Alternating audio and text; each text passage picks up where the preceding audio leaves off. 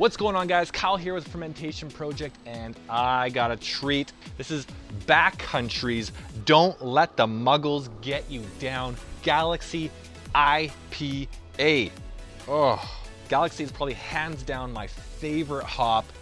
Any type of Galaxy IPA, I'm all in. You could lure me into a dungeon with a Galaxy IPA.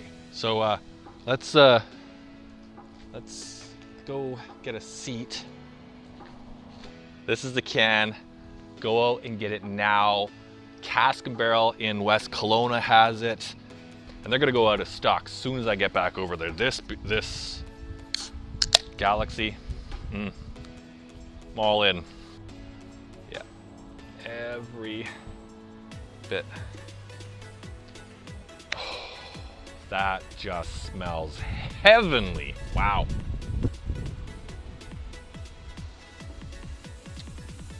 Oh.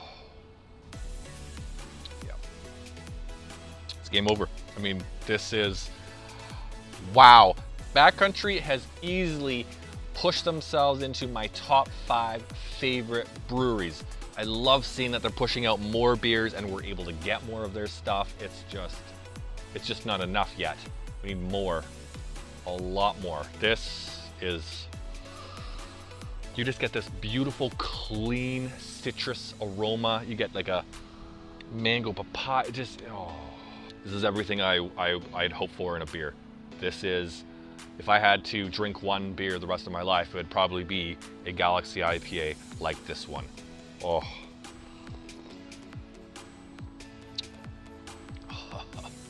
You get a full, rich maltiness to it really nicely balanced with that hop and tropical, very creamy in the mouth. It's, I need, I, I mean, seriously, I need more. I'm gonna go down to Cask Barrel as soon as this video is uploaded, buy out the rest of it so you can't get any more because it's that good.